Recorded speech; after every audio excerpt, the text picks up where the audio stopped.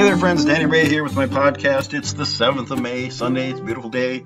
Um, so a friend of mine just kind of did something odd the other day. He and his wife went to a movie called Are You There, God? It's Me, Margaret by uh, Judy Blume, a, a, book that came out basically for teens in the 70s. And his comment when he talked about it with me, said nothing about it was a wash in identity and there was no push agenda, no cajoling or ham handed messaging it, it, it was a 1970s and, and, so not 2023. It's all well documented fact that obsessive attention to living in a digital reality, one that basically takes hold and if not entirely controlling, certainly influences an unnatural lifestyle. The refreshing aspect of books like Judy's and non CGI movies is that they are, I'll say it, natural.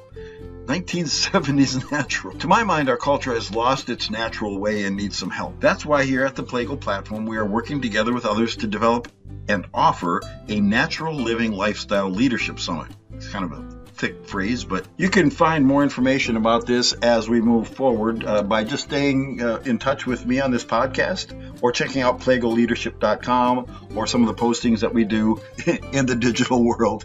Yeah, I know. Our intent with this is to, like everything we do, make a difference. Have a fantastic day.